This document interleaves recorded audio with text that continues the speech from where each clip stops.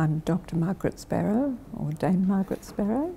I'm a retired sexual health physician.